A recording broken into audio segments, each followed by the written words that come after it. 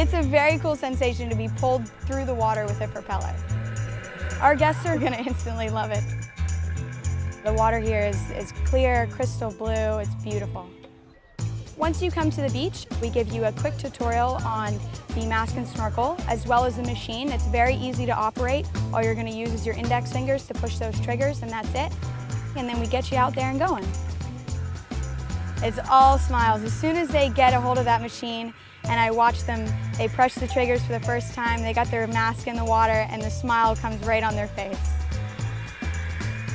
We're gonna head out to the inner reef, all the way down the shoreline. You're gonna see a lot of the smaller fish, uh, some of the butterfly fish and Bermuda breams. Out on the outer reef, which is a little bit deeper, very easy to swoop down, get a close look at the marine life, see the pristine waters and the coral reef that's out here. People say it's the most beautiful thing they've seen. It's the clearest water, and they all want to stay out as long as possible. It's a great feeling to be able to share it with people. You gotta try it.